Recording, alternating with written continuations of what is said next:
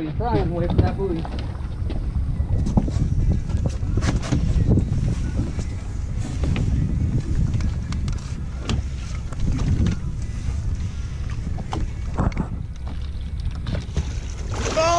It's okay.